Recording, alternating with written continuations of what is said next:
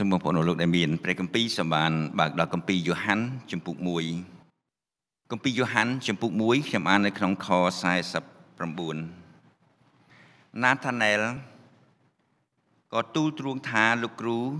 លោកជាព្រះរាជវត្រានៃព្រះ លោកប្រកាសជាស្ដេចនៃសាសអ៊ីស្រាអែលមែនសូមបានសំនុំចិត្តអធិដ្ឋានដើម្បីនឹងសូមប្រពោព្រះក្នុងការដែលយើងនឹងសិក្សាព្រះបន្ទូលព្រះជាមួយគ្នានៅពេលនេះ ព្រះយេស៊ូវឲ្យបង្គំអរព្រះគុណដល់ព្រះអង្គនៃទ្រង់ប្រទានឲ្យបង្គំយើងខ្ញុំបានរំលែកពេលនៅថ្ងៃអាទិត្យនេះជួបជុំគ្នាថ្វាយបង្គំព្រះអង្គនៅក្នុងព្រះវិហារបរិសុទ្ធរបស់ផងទ្រង់សូមវត្តមានព្រះអង្គបានគង់ជាអធិបតីនៅកណ្ដាលចំណោមទូបង្គំយើងខ្ញុំទាំងអស់គ្នាទាំងប្រទានឲ្យបង្គំយើងខ្ញុំបានមានចិត្តដែលប្រុងប្រៀបដើម្បីនឹងស្ដាប់នៅព្រះសូរសៀងព្រះអង្គដែលទ្រង់សពប្រតិមានបន្ទូលមកដល់ចិត្តបង្គំយើងខ្ញុំផ្ទាល់ខ្លួនម្នាក់ម្នាក់តាមរយៈការសិក្សានៃព្រះបន្ទូលទ្រង់នៅថ្ងៃនេះ ទូបង្គំអរព្រះគុណដោយសូមអធិដ្ឋានទូថ្វាយគ្រប់ការទាំងអស់ក្នុងព្រះនាមដ៏មានអំណាចព្រះចេស្តារបស់ព្រះអង្គគឺជាព្រះនាមព្រះយេស៊ូវគ្រីស្ទអាមែនមនុស្សគ្រប់គ្នាតែងមានចិត្តប្រាថ្នាចង់បានសម្រេចនៅគោលបំណងអ្វីមួយដោយការរងចាំឬក៏ដោយការស្វែងរក ការដែលមានចិត្តប្រាថ្នាចង់បានការណាមួយនោះ មានការខ្លះជាការដែលល្អ ការខ្លះជាការដែលមិនល្អហើយមានការខ្លះទៀតជាការដែលតូចក៏មានការខ្លះទៀតជាការដែលធំផងប៉ុន្តែក្នុងចំណោមការទាំងឡាយដែលមនុស្សគ្រប់គ្នាតែងមានចិត្តប្រាថ្នាចង់បាន មានការមួយដែលធំពិសេសហើយល្អពិសេសលើជាងទាំងអស់គឺការដែលមានចិត្តប្រាថ្នាចង់បាន ហើយដើម្បីនឹងស្វែងរកឲ្យបាននោះ គឺឲ្យបានជួប ជាមួយនឹងព្រះសង្គ្រោះដើម្បីទទួលយកនៅជីវិតអកាលជានិច្ចអំពីទ្រង់ថ្ងៃនេះខ្ញុំចង់ឲ្យបងប្អូនលោកបានសិក្សានៅមេរៀនមួយដែលមានចំណងជើងថា ការរកឃើញដ៏អស្ចារ្យនៃជីវិតលោកណាថាណែលតើលោកណាថាណែលជាអ្នកណា ហើយតើការអ្វីដ៏អស្ចារ្យដែលលោកបានរកឃើញសម្រាប់ជីវិតរបស់លោក ដែលលោកមានចិត្តប្រាថ្នាចង់បាននោះ1 សូមបានមើលពីជីវិតដែលស្វែងរកព្រះសង្គ្រោះបងប្អូនលោកដែលមានព្រះគម្ពីរសូមបានបើកដល់គម្ពីរយ៉ូហាន់ចំពុក1ខ្ញុំអានខ43លុះដល់ស្អែកឡើងព្រះយេស៊ូវសពព្រះハរតីចង់យាងទៅឯស្រុកកាលីលេទ្រង់ក៏រកភីលីបកាលបានឃើញហើយនោះទ្រង់មានបន្ទូលទៅគាត់ថាចូលតាមខ្ញុំមកលោកណាថាណែលជាមនុស្សម្នាក់ក្នុងចំណោមជនជាតិយូដា ដែលមានជំនឿជឿលើព្រះដែលបង្កើតដីមេឃហើយផែនដី ហើយលោកជាម្នាក់ដែលរងចាំទំនាយដែលបានទីទុកនៅក្នុងព្រះគម្ពីរសញ្ញាចាស់អំពីព្រះមួយអង្គដែលត្រូវយើងមកប្រសូតជាមនុស្សដើម្បីនឹងជួយសង្គ្រោះមនុស្សឲ្យរួចពីអំពើបាបបច្ចុប្បន្ននេះក្នុងចំណោមជនជាតិខ្មែរយើង ដែលបងប្អូនអរលោកអាចនឹងឃើញនៅក្នុងការបង្ហោះនៅក្នុង Facebook អំពីមនុស្សជាច្រើនដែលមានការលះបង់គ្រប់យ៉ាងដើម្បីចង់បានជួបអ្នកណាដែលអាចនឹងជួយគេបានគឺជួយឲ្យបានសុខសប្បាយជួយឲ្យបានរកស៊ីមានបាន ហើយជួយឲ្យបាននៅអ្វីដែលគេមានចិត្តប្រាថ្នាចង់បានក្នុងជីវិតនោះប៉ុន្តែមានការមួយដែលមនុស្សជាទូទៅតែងតែមានការធ្វេសប្រហែសក្នុងជីវិត គឺក្នុងការដែលលះបង់ ដើម្បីនឹងស្វែងរកព្រះសង្គ្រោះដើម្បីនឹងជួយឲ្យរួចពីអំពើបាបព្រោះកាលណាបានរួចពីអំពើបាបនោះនាំឲ្យគេមានជីវិតដ៏អស្ចារ្យដែលព្រះទ្រង់បានបង្កើតគេមកគឺជាជីវិតដែលទទួលបាននៅសេចក្តីស្រឡាញ់អំពីព្រះទទួលបាននៅផែនការដ៏អស្ចារ្យដែលព្រះមានសម្រាប់ជីវិតរបស់ផងគេ ប៉ុន្តែបើសិនជាមិនបានរួចពីអំពើបាបទេព្រះគម្ពីរប៊ីបបានចែងឲ្យបានដឹងថាគេនឹងទទួលនៅជីវិតហិនមីនីដល់នៅអកាលជានិច្ចនៅក្នុងបទគម្ពីរយ៉ូហាន់ចំពុក1នៅក្នុងខ43ខ44ក៏បានប្រាប់ឲ្យយើងបានដឹងអំពីមនុស្សម្នាក់ឈ្មោះភីលីបភីលីបគាត់ក៏ជាជនជាតិយូដាម្នាក់ក្នុងចំណោមជនជាតិយូដាឯទៀត ដូចជាលោកណាថាណែលដែរដែលរងចាំព្រះ ដែលត្រូវយាងមកតាមទំនាយនៃលោកម៉ូសេនិងទំនាយរបស់ផងពួកហោរារបស់ផងព្រះ ដែលបានទីទុកអំពីទ្រង់ដែលទ្រង់ត្រូវយាងមកដើម្បីនឹងជួយសង្គ្រោះមនុស្សឲ្យរួចពីអំពើបាបនៅក្នុងខ44ក៏បានប្រាប់ឲ្យយើងបានដឹងថាភីលីបគឺគាត់នៅបេតសៃដា ជាទីក្រុងរបស់អង់ដ្រេហើយនិងពេត្រុស ខ្ញុំអានឡើងវិញនៅក្នុងខ43ហើយនិងខ44លុះដល់ស្អែកឡើងព្រះយេស៊ូវសពព្រះハរតីចង់យាងទៅឯស្រុកកាលីលេទ្រង់ក៏រកភីលីបកាលបានឃើញហើយនោះទ្រង់មានបន្ទូលទៅគាត់ថាចូលតាមខ្ញុំមកឯភីលីបនេះគាត់នៅបេតសៃដាជាទីក្រុងរបស់អង់ដ្រេនិងពេត្រុសដែលព្រះយេស៊ូវទ្រង់បានយាងទៅស្រុកកាលីលេហើយទ្រង់បានឃើញភីលីប ទ្រង់បានហៅភីលីបឲ្យដើរតាមទ្រង់ភីលីបក៏ជាម្នាក់ដែលស្គាល់ណាថាណែលជាអ្នកដែលមានចិត្តរងចាំព្រះដែលយាងមកតាមទំនាយគឺអង្គព្រះយេស៊ូវគ្រីស្ទដែលភីលីបបានជួបហើយភីលីបបានរកណាថាណែលដើម្បីនឹងប្រាប់អំពីទ្រង់កាលណាមនុស្សរស់ក្នុងជីវិតដែលស្វែងរកព្រះសង្គ្រោះនោះវិសេសណាស់ ពីព្រោះនៅពេលដែលស្វែងរកអ្វីមួយដែលវិសេសជាពិសេសគឺស្វែងរកព្រះនោះព្រះអង្គទ្រង់នឹងឲ្យគេបានឃើញបញ្ហាមនុស្សជាទូទៅគឺគេចង់បានជំនួយអំពីព្រះដ៏ពិតប៉ុន្តែគេអត់មានចិត្តដើម្បីស្វែងរកព្រះដ៏ពិតនោះទេ ហើយក្នុងការដែលគេមិនបានមានចិត្តស្វែងរកព្រះដ៏ពិតពេលដែលបានជួបហើយក៏មិនចាប់អារម្មណ៍ដែរគឺមិនយកចិត្តទុកដាក់ ដើម្បីនឹងទទួលទ្រង់ទុកជាព្រះអង្គសង្គ្រោះសម្រាប់ជីវិតរបស់ផងខ្លួនដែរទី2សូមបានមើលពីជីវិតដែលស្វែងរកអ្នកដែលត្រូវបានសង្គ្រោះនៅក្នុងខ45និងខ46ភីលីបក៏រកណាថាណែលរួចប្រាប់ថាយើងបានឃើញព្រះអង្គនោះហើយគឺជាព្រះដែលលោកមូសេបានចែងទុកពីទ្រូងនៅក្នុងក្រឹតវិន័យហើយពួកហោរាក៏បានទាយពីទ្រូងផង ទ្រូងព្រះនាមជាយេស៊ូវជាបុត្រយូសែបនៅភូមិណាសារ៉េតខ46តែណាថាណែលនិយាយថាតើមានអ្វីដ៏ល្អអាចចេញពីណាសារ៉េតមកបានឬទេផេលីបឆ្លើយឡើងថាចូលតាមខ្ញុំទៅមើលចុះព្រះគម្ពីរប៊ីបានចែងឲ្យយើងបានដឹងថា ព្រះបានទទួលជនជាតិអ៊ីស្រាអែលធ្វើជារាជរបស់ផងទ្រង់ គឺជាពូជរបស់ផងលោកអាប់រ៉ាហាំដែលទ្រង់បានសន្យាជាមួយនឹងលោកអាប់រ៉ាហាំដោយមានទាំងសេចក្តីសញ្ញាដែលព្រះទ្រង់បានតាំងជាមួយនឹងលោកអាប់រ៉ាហាំផង គឺជាការកាត់ស្បែកតែបញ្ហាមួយដែលជនជាតិអ៊ីស្រាអែលមានតាំងពីសតវត្សទី1មកគឺនៅពេលដែលព្រះទ្រង់បានចាត់ព្រះរាជបុត្រាទ្រង់ព្រះនាមព្រះយេស៊ូវគ្រីស្ទឲ្យយាងមកទទួលនិស្ស័យជាមនុស្ស ប្រយោជន៍នឹងទទួលសគុតនៅលើជាឆ្កាង ជាថ្លៃសងអំពើបាបរបស់ផងមនុស្សជនជាតិយូដាជនជាតិអ៊ីស្រាអែលមិនបានទទួលទ្រង់ទុកជាព្រះអង្គសង្គ្រោះរបស់ផងគេឡើយ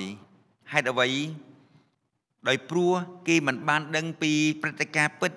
ដែលបានចែងទុកដែលតាក់ទងទៅនឹងអង្គព្រះយេស៊ូវគ្រីស្ទ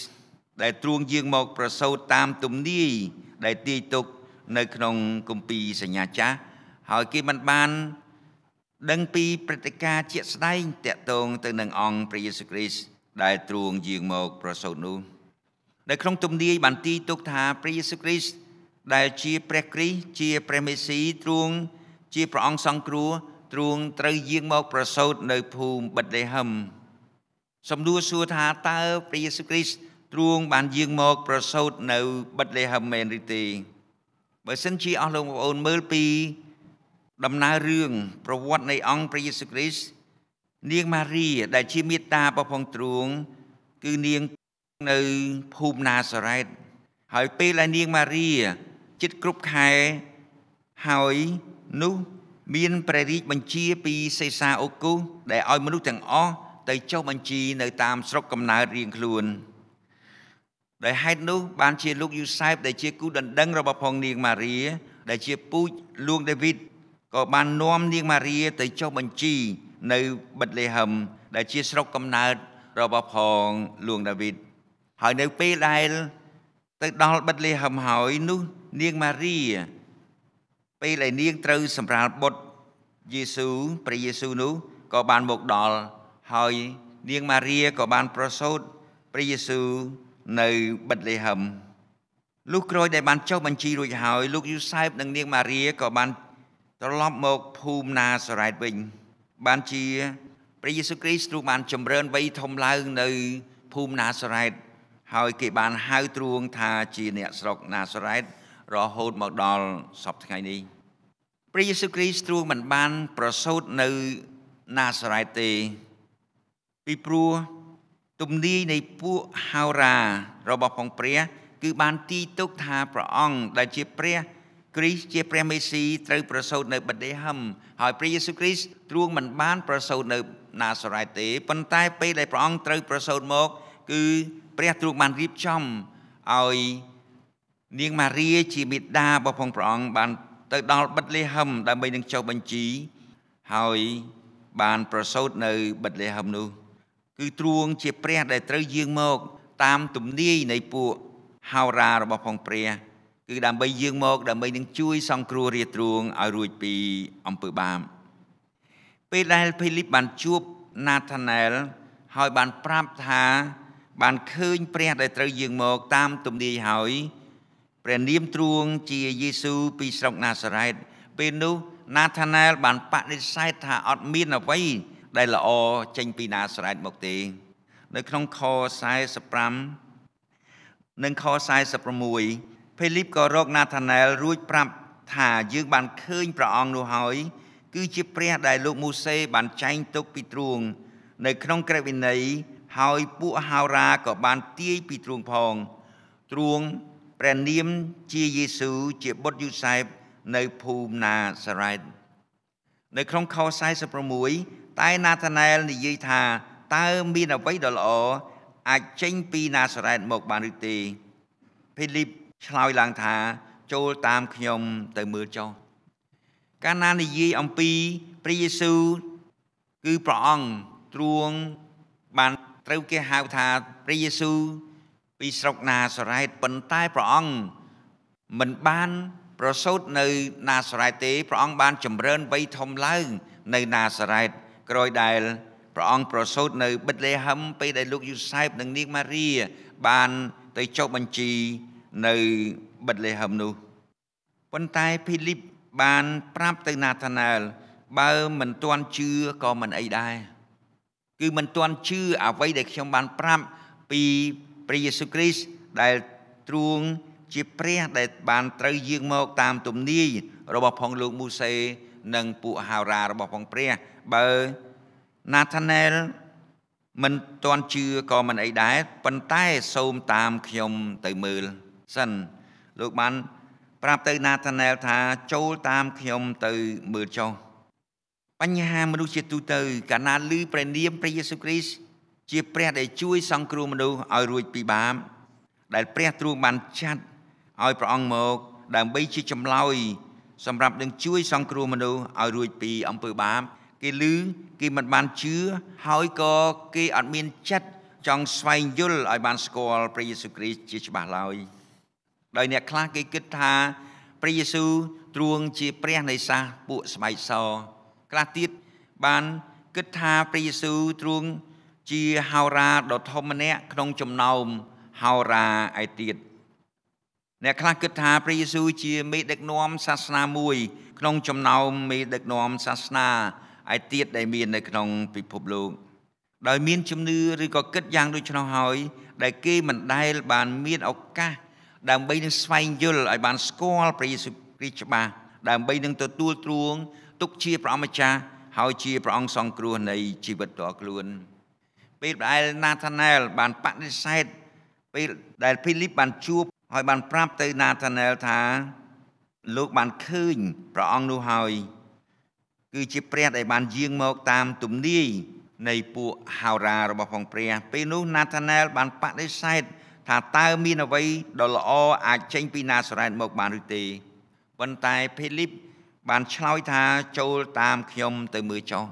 ហើយពេលនោះណាថាណែលក៏បានទៅតាមពីលីបហើយក៏បានទៅមើលជួបនឹងព្រះយេស៊ូវសម្រាប់អស់លោកបងប្អូន ដែលបានទទួលជឿដល់ព្រះយេស៊ូវគ្រីស្ទហើយសម្រាប់ខ្ញុំដែលជឿដល់ព្រះយេស៊ូវគ្រីស្ទហើយការមួយដែលពិសេសនៅក្នុងជីវិតអស់លោកបងប្អូន និងក្នុងជីវិតរបស់ផងខ្ញុំនិងអស់អ្នកដែលទទួលជឿដល់ព្រះយេស៊ូវគ្រីស្ទគឺយើងអរព្រះគុណព្រះដែលព្រះអង្គបានបើកភ្នែកឲ្យយើងបានឃើញព្រះអង្គដើម្បីឲ្យបានស្គាល់ទ្រង់ហើយទទួលជឿហើយភ្នែកនោះ គឺជាភ្នែកខាងប្រលឹងវិញ្ញាណហើយជំនឿដែលជឿដល់ព្រះយេស៊ូវគ្រីស្ទនោះគឺជាជំនឿដែលជួយឲ្យរួចពីអំពើបាបហើយដែលបានជឿដល់ព្រះយេស៊ូវគ្រីស្ទហើយស្គាល់ព្រះអង្គហើយព្រះអង្គសពប្រតិឲ្យយើងបានប្រាប់ដល់អ្នកឯទៀតដែល ត្រូវបានទទួលនៅសេចក្តីសង្គ្រោះរបស់ផងទ្រង់នោះដែរបានជាពេលដែលភីលីបបានជួបនឹងព្រះយេស៊ូវហើយលោកបានស្គាល់ព្រះយេស៊ូវគ្រីស្ទថាជាព្រះអង្គសង្គ្រោះដែលត្រូវយាងមកតាមទំនាយមែនលោកបានប្រាប់ទៅដល់លោកណាថាណែលលោកមិនបានទុកនៅខ្លួនលោកទេប៉ុន្តែលោកបានប្រាប់ទៅលោកណាថាណែលហើយបានឲ្យលោកណាថាណែលទៅតាមលោកដើម្បីនឹងឲ្យបានឃើញផ្ទាល់នឹងភ្នែកចុះ មនុស្សគ្រប់គ្នាដែលរស់ក្នុងជីវិតលើផែនដីនេះ គឺគ្រប់គ្នាត្រូវមានកតបកិច្ចដើម្បីស្វែងរកព្រះសង្គ្រោះហើយកាលណាស្វែងរកព្រះសង្គ្រោះឃើញហើយ គឺព្រះអង្គសប្រតិឲ្យយើងបានប្រាប់ដល់អ្នកឯទៀតផងដែរទី3ជីវិតដែលស្វែងឃើញព្រះសង្គ្រោះដើម្បីនឹងទទួលជឿ នៅក្នុងខ47ដល់ខ49នៅក្នុងបទគម្ពីរយ៉ូហានចំពុក1ព្រះយេស៊ូវទ្រង់ឃើញណាថាណែលមកឯទ្រង់ក៏មានបន្ទូលពីគាត់ថានោះណូជាសាសអ៊ីស្រាអែលពិតមែនដែលឥតមានចិត្តអបាយនោះណាថាណែលទូលសួរថាលោកស្គាល់ខ្ញុំពីណាមកព្រះយេស៊ូវមានបន្ទូលថាមុនដែលភេលីបហៅមក កាលអ្នកនៅក្រោមដើមរវានៅឡើយ នោះខ្ញុំបានឃើញហើយណាថាណែល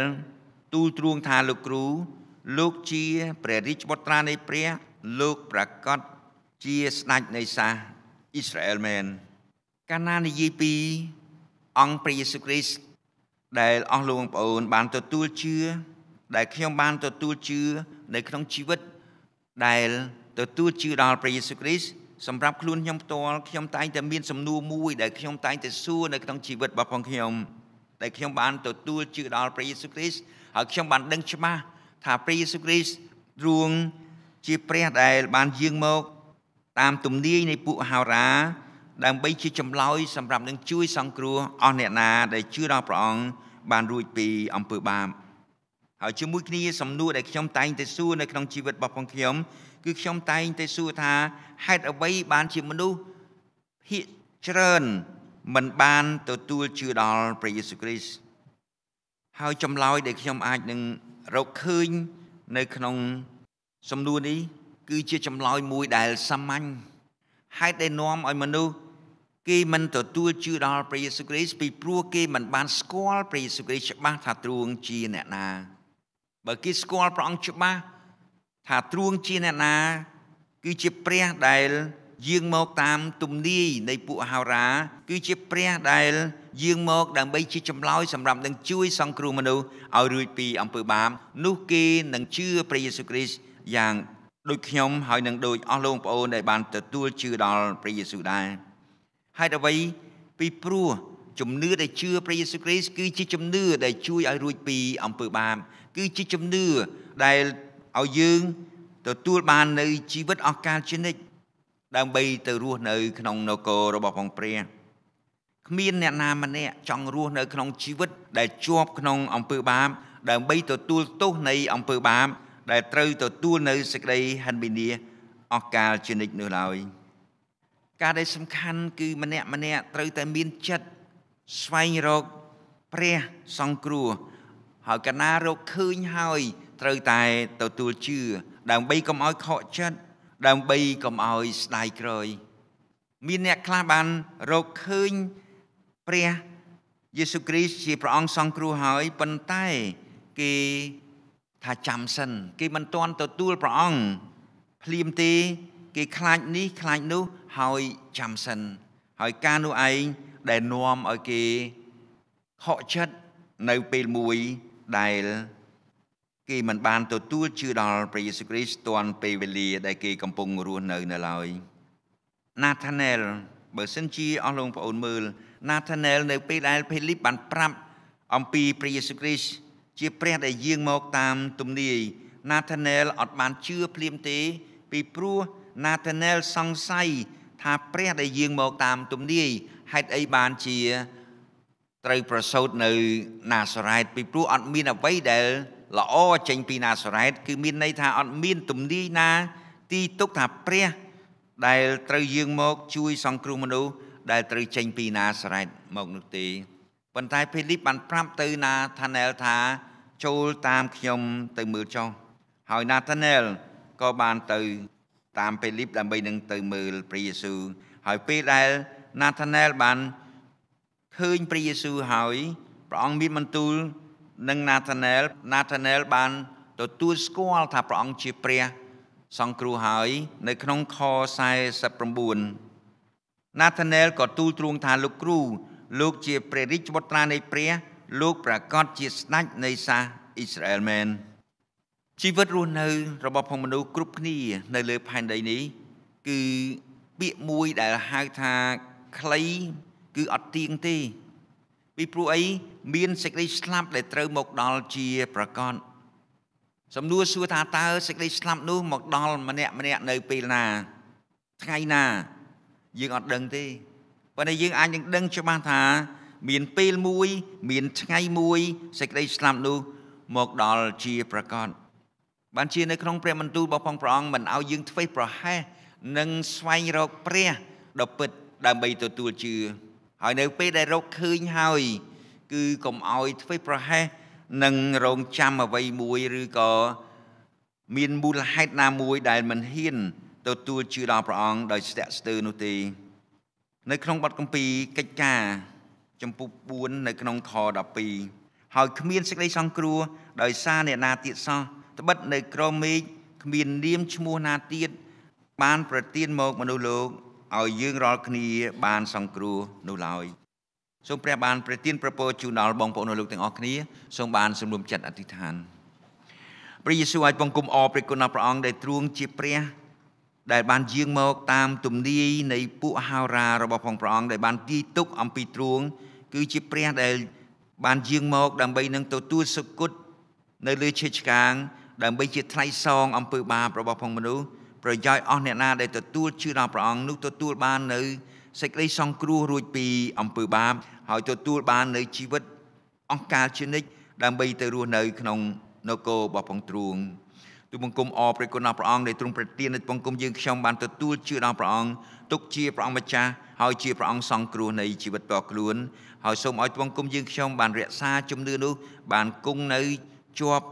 រហូតដល់ព្រះអង្គទ្រង់ យាងត្រឡប់មកវិញឬក៏រហូតដល់ពេលបានទៅជួបជាមួយនឹងព្រះអង្គហើយសូមឲ្យទ្រង់គុំយើងខ្ញុំបានរស់នៅ ជាស្មោបន្ទាល់ពីព្រះអង្គដើម្បីនឹងប្រកាសប្រាប់សេចក្តីសង្គ្រោះរបស់ផងទ្រង់ដល់អ្នកឯទៀតដែលព្រះអង្គបានប្រទានឲ្យទ្រង់គុំយើងខ្ញុំបានទទួលហើយនោះទ្រង់គុំអរព្រះគុណដល់ព្រះអង្គទ្រង់គុំក៏សូមព្រះអង្គបានប្រទានប្រពោសម្រាប់បងប្អូនទ្រង់គុំដែលមិនទាន់បានទទួលជឿដល់ព្រះអង្គនៅឡើយបានមានឱកាសនឹងស្វែងយល់មានឱកាស